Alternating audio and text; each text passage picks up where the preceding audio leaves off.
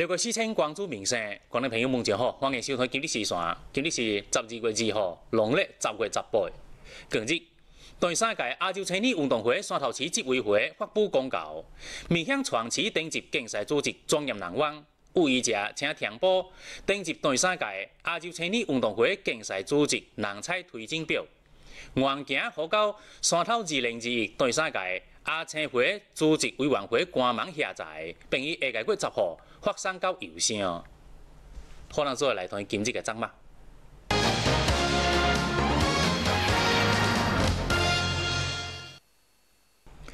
近日，我市一位女士用火烧刀拍车软件约网约车的时候，司机经常爱伊对对量，对唔上就冇上车，实在是过气吧。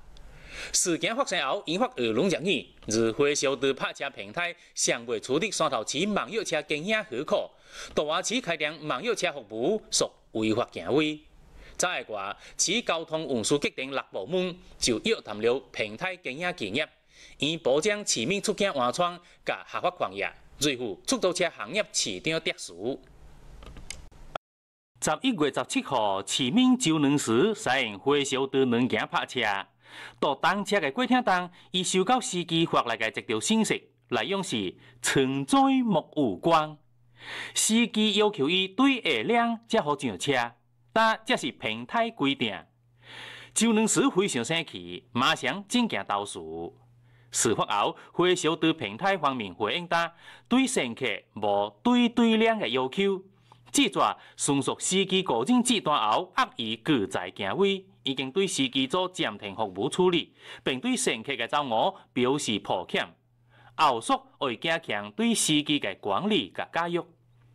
事实上，对火烧刀拍车平台重多嘅唔规范，其他市民也多有投诉，包括司机服务态度差、动土夺客等。如今黑车火烧刀拍车平台嘅运营企业，滴滴公司尚未按规定处理我持网约车经营许可。开展网约车服务属于违法行为。该段内交通运输执法部门已经查处回收的违法经营五十宗。近来，那个汕汕头市交通运输综合执法局一共查处了非法营运那个三百四十五宗，其中还包括那个花小猪就五五十宗，呃，那个网网络平台的查处了查处了十九宗。为保障市民出境安全，加合法抗疫。维护出租车行业市场秩序，市交通运输局牵头市网信派、工信局、公安局、市场监督局、交通综合执法？局等部门，约谈滴滴公司，要求其限期整改，清楚无取得合法？资质的驾驶员甲车辆，并配合有关部门下规经营。市交通运输综合执法？局将联合公安部门加大力度，查处非法？网约车。花小猪的。经营企业在汕头还是非法经营，我们约谈他，就是要他尽快的在汕头落地合规经营，而且这个提供服务的运营车辆，啊，它是私家车性质的，它不是营运车，它没有买相关的营运保险，啊，出了事故的话是保险公司是不理赔的，啊，作为主管部门，我们是会持续的保持压力。一方面就督促他尽快的落地合规经营，一方面呢，交通运输执法部门会加大力度进行对于违法行为的查处。在这里，我也向市民呼吁，啊，出行要选择合法合规的平台，啊和出租车企业，来保障自己的安全和权益。不少人应该拢听过。有人爱到公证场所向密切异性暴露家己的隐私部位，从对方的惊慌失措中获得心理生理上的满足。这种暴露行为其实是一种心理疾病，会对市民群众，特别是妇女儿童造成很大的困扰。近日，市民李先生甲周小姐就几乎到同一时间点分别遇到这种离奇事。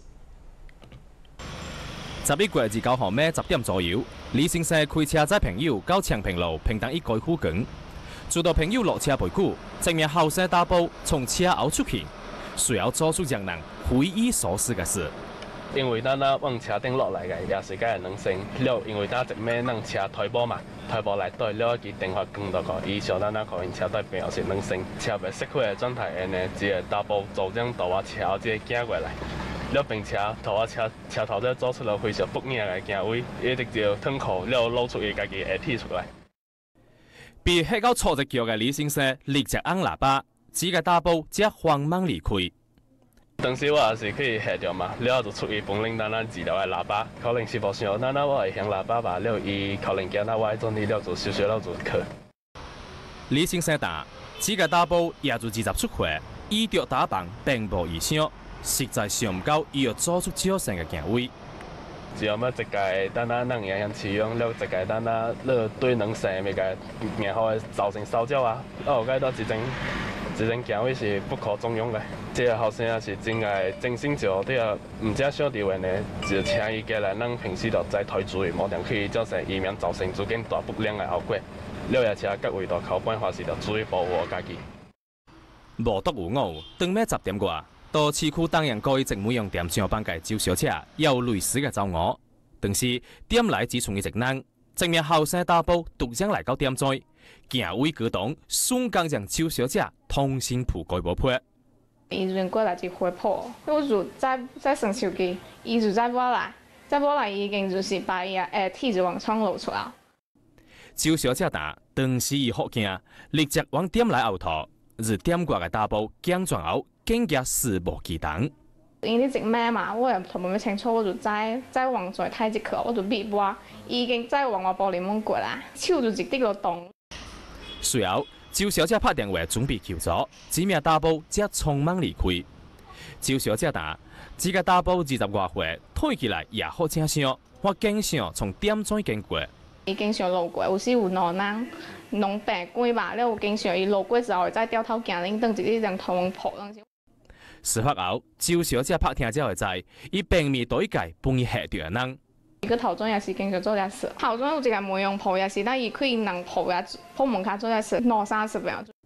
目前，周小姐已經報了警，伊希望有關方面能夠加強巡車管理，讓廣大群眾，特別是女性能夠安心工作。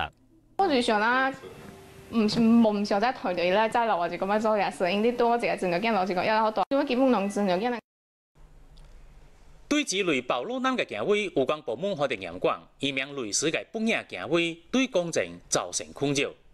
而研究表明，录音片其实是一种性心理障碍，可能甲患者嘅成长经历有关。如果无及时治疗，或可能会演变成性暴力犯罪。我国电话管理处罚法规定。威胁他人嘅或到公共场所故意裸露身体、穿着恶劣嘅，处五日以上十日以下拘留。所以，一旦发现有录音片患者，家人卖自顾责骂，要及时将其送回进行心理治疗。开启法律明灯，照亮人生旅程。各作标车，各作启达，落后五起灵。叫做造谣传谣，叫做违法犯罪，干将花海社会，法治教育，人同导养，青少年破坏，我们道路上。二零二零法律今后五公益活动加到今天，此司法局、此教育局，刷头用未接款，此破发牌两客主牌。法律正校五，走进山头市同一同学，时间就二月三号上午，组队向广双方。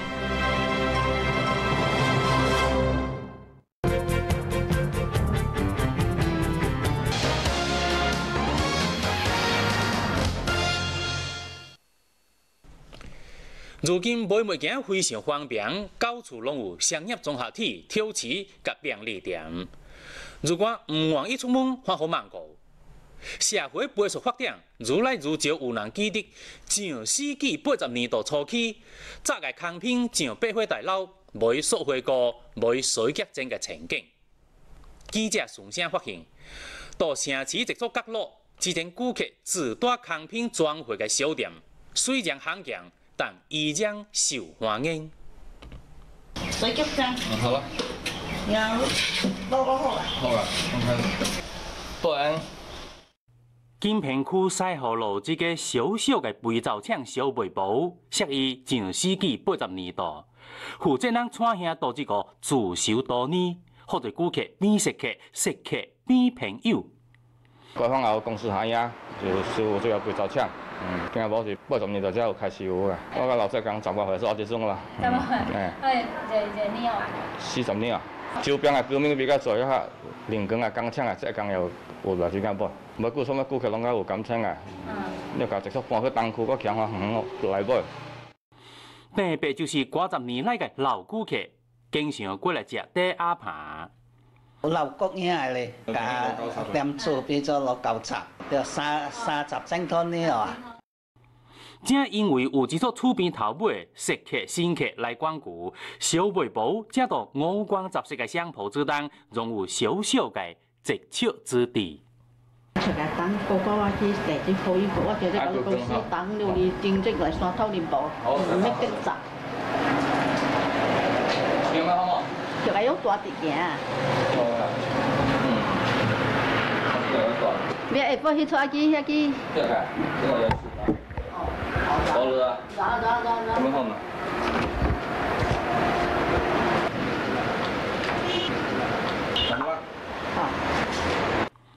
小卖部主要做厝边头尾嘅生意，接触顾客钓鱼远，顺路经过之个也爱来买，顺便带一撮帮亲戚朋友。如果无杂康品来买，蔡兄也贴心嘅提供康品方便顾客。我今来市来买物件，了我经常来，我只开始用，今日好用啦，亲戚朋友搭啦，爱拼啊，爱价格了出好用啊。满只水水五脏古窗，小小的店面放满各式各样的水发水、水结晶、水衣液、甲脚车冷等。为方便顾客，现在店内也提供独立的小瓶装。但好在，甲特别招生的老顾客，还是对自带品购买模式情有独钟。外国环保，无无遐做塑料袋啊，甲塑料桶啊，现在塑料桶最死，对环境无无咩好。即嘛，减咗这个包装个桶多多次使用，嘛是好。可能是一种坏故吧。我一间吸用面生啊，老百姓生活啦。嗯。有经济实惠啊，减咗佢个包装物嘅费用啊，加减咗呢个垃圾物污染啊，唔得造成浪费个环境污染。根据二零二零全国消费促进局嘅统一部署，从十一月三十号开始，我启动林北县国际会展中心南广场举办二零二零年文化贸促销会暨迎春年会会，吸引了不少市民前往辣食辣铁佗。民以食为天，各种潮汕传统小食，甲天南地北的特色美食，香气四溢，让人谈到老暖。好像多耶，好像比比往届多一些。往年也来，挺好的吧？那天南地北的东西都能看到。我也觉得挺好，在汕头这个，呃，搞这个还是能够叫大家那个欣赏到全国各地的特产。本次年初年会会，共设一百七十个点位，涉及食品、玩具、纺织、电子、木行、日用品、工具等内外贸企业甲劳资和品牌企业，是近几年来首次集年会采购会、潮汕特色美食品牌展示会、内外贸企业促销交流会以及体嘅大展会。对于餐店企业来讲，这也是去库存转内销商机，是提升市场知名度的机会。我市家政服务业也首次组团亮相，参展嘅十家公司涉及保洁、保姆、综合家政、月嫂等。主要是想要给嗯大家提供一个可以咨询呃家政服务行业的一个平台，嗯呃就这两天的那个情况来说，呃咨询的人数也是非常多的，嗯大家对于呃现在家政行业这一块的话也是非常感兴趣，我们会借呃这个机会以后会多向市民宣传。这座年初年会会为期七日，将提速到十二月六号。此次呢，也是政府和体界非常重视，呃，目的呢是为受后目青也乡嘅企业创造商机开拓市场。呃，同时呢，也是让咱老百姓都花园购买，大家同时享受每只个一个好去处，所以也是非常惠民生、促消费的一次大型活动。近日，一场特殊的徒步活动到孝江青南高村举行。我百名热爱徒步、对历史文化感兴趣的人士参加活动，到徒步当体验乡村风情，了解乡村的历史文化。此次活动为后江区主普第四届高村徒步游行走青那，起步出发后，队伍经下梅庵、青那盐仓瑞子、爱国主义教育基地菜能通、马经镇、将军队三旗行等，到达终点长兴高庙。全程约十公里，参与南湾多徒步当体验乡村风情，领略当地嘅历史文化。据了解，青那古村历史悠久，乡民勤劳，到复古以在，所民族建造高大顶，并砍下芦苇开始植荫。而随着历史演变、社会进步，目前青那盐仓只留下小民宅嘅遗址。这片面二山老辈人各方在。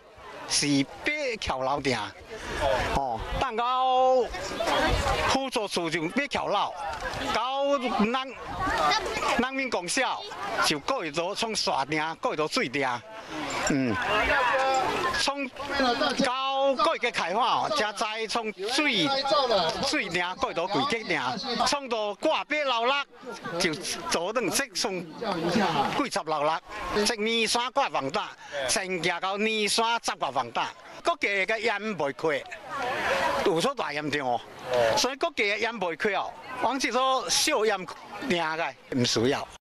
自爱国主义教育基地蔡南通，在记录了日寇占领大校后，当地大饥荒嘅难工惨剧。因为那些物件受到当局暂缓的是多只定，即个大校斗其实物件占哦，暂缓呢是比如西路未通，海也未通，陆路未通，所以呢就。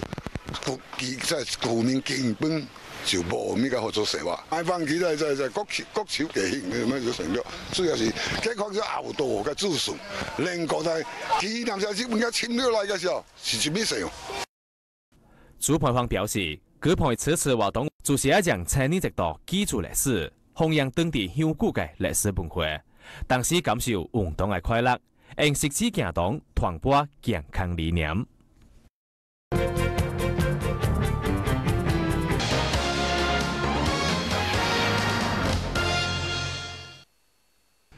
十一月廿八号凌晨，一个大埔闯到金平区桃内街道内门菜土场，轻车熟路的开走了一只江淮牌重型自卸车。前尾对面有变到黄山野岭，轻轨盗走重型自卸车，究竟是何方神圣呢？前尾被开走的重型自行车，何摆为国威临时幺幺三，是邢先生三个月前花了八万元购买的二手车。邢先生答：一月十七号，伊甲王小朋友将自行车卸到内门菜头场，但到了隔日车就无倒去，于是立即车团相邻采集场出入口的视频，结果发现这名乘坐出租车来的大埔极其可疑。我做到咗招兵，出嚟出波，就去咗监控十个台监控，睇落去到，即咩做直点二十空嘅时候，做个小偷做啲事，即嚟即嚟到到底边个盗车。视频显示，这个大埔以当日凌晨三点廿八分开着几只自行车，从相邻嘅采集场大门离开。邢先生答：到开伊个自卸车之中，即个大埔警队采土场嘅另外两只大货车落手，但未能得手。到相随车团视频之后，邢先生觉得倒车侧对采土场甲采集场嘅地形地十分熟悉。为避开现场整个工人嘅视线，即个大部分沿着采集场嘅山路将车开。对此，邢先生觉得十分蹊跷。根据这个小偷伊行个路线，甲伊开车出去个路线，怀疑呢，这个咱这个贼小偷也有经过来多次踩点，对路线非常熟悉，对车辆也非常熟悉，明白啦。昨年昨年开这个保卫车。事发后，邢先生爆料话，具体情况向太警力部调查，邢先生也希望有目击者或在场人能提供线索。希望社会做空正啦，有发现我哋车牌挖背，临时又有啥，就得当兴自写包围车，如果发现嗰车中介做及时来提供线索，帮助民警破案，把将叫做小偷绳之以法。高空炮路线令人厌恶，但有人却唔敢门面点做这事。昨暝早，市民小店就发现爱车嘅全挡风玻璃顶杯有不少大半杂物。查了车载记录仪，才知道是楼顶有人高空抛物。小弟嘅车遐到市区零八街界画线布为上，昨暝早，伊想要开车去上班，却发现在挡风玻璃上有不少垃圾杂物。落家楼嘅台一车到去啊停车位个，就为车停玻璃就搞嘅空镜地啊，就加下机所摄抓，就加力撮提提嘅，唔知解咩物件误会咩？为了绕去上班，小弟刚到好想留下证据后，就用护水器扫掉挡风玻璃上的杂物，以免遮挡视线。但还是留一撮风地甲水管皮。伊做去个车位也是经常有人个去车挡头物，也是顶马交的大部。小弟个车载记录仪显示，昨暝早六点外，楼顶有人过一撮垃圾杂物，暗好刷落到小弟个汽车挡风玻璃上，好的挡风玻璃部受损。小弟打高空泡沫流失，损人不利己，令人厌恶。希望楼顶嘅住户引以为戒，阻戒门面嘅市民。佢就冇攞一啲仲要目清惶恐，能攞注意一啲公共衛生，呢個整山頭창문就從能夠素質方式要大提高咯。日在。直接上海老人将三百万房产老本老下追关摊主的新闻，引发社会广泛关注。事件中涉毒老人的照料问题以及相应的制度安排，令人深思。据报道，上海几位北宋老人因老伴过身，独自醉死在独家。但无论是老家的后事，还是近年来的生活起居，拢有奈老的追关摊主的照料。因此，老人带摊主到公证处办理了一定监护，还将三百万的房线作为瑞线相赠。事件传开后，有人认为摊主相有相报，也有人质疑摊主意图谋财。老人的妹妹认为，摊主在接受采访的时候只读出家己的照顾，而贬低其他家属对老人的关心，怀疑其动机不纯。摊主承认，老人的亲属平时不管不问，现在找来接伊是为了。遮白线。清官难断家务事，此事莫再容人以定论。但事件黄洋界涉毒老人嘅照料问题，以及相应嘅制度安排，却特地轻视。事件当发挥关键责任界一定监护，确立于二零幺七年民法总值，并明确规定到民法定当。打白了，就是指成年人在意识清晰的时候，可以指定一位亲属或者跟家己无血缘关系的人充当监护人，并且允许指明监护人在家己意识不清的时候，履行监护职责，处理家己的财产产。这三个法律设定，可以让高官老人的权利更有保障，对于能释放出了巨大的善意。问题嘅复杂程度，即当部血往作为纽带，如何保证监护人是真心实意对老人好，而非偏差呢？如何确定老人陪你一定监护嘅时候，头脑是清醒嘅呢？所有这些问题，法律拢有设想嘅规范，但由于一定监护是更广义嘅新事物，常需要到司法实践当不断嘅妄想，也就人民引发质疑嘅争议。法律不是你边边嘅条文，而是对时代问题嘅制度性回应。一定监护嘅设定是我国面对老龄社会不断完善相应法律特殊嘅一种探索。据统计，二零一九年我国六十岁及以上嘅人口占比达百分之十八点七。再过几年，这个人口规模将超过三亿。如何确保老人老有所养、老有所依、老有所乐？需要法律作出回答，也是全社会拢着回应嘅时代课题。好，今日嘅节目就到这个，最谢你嘅收睇，马日嘅当地时间，咱再会。